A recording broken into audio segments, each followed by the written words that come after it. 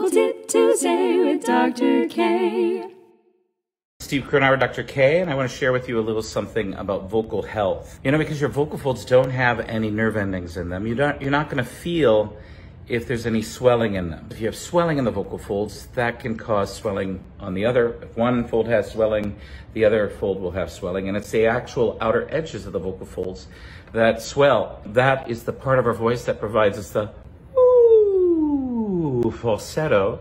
We want to be able to uh, test that to see if they're swelling by what we feel and what we hear. Think about trying the happy birthday test to see if there's swelling on the edges of your vocal folds called the uh, mucosa actually. It should be clear, clean, light as possible, very, very smooth. Happy birthday to you, rather than happy birthday. If you feel that, you probably need vocal rest.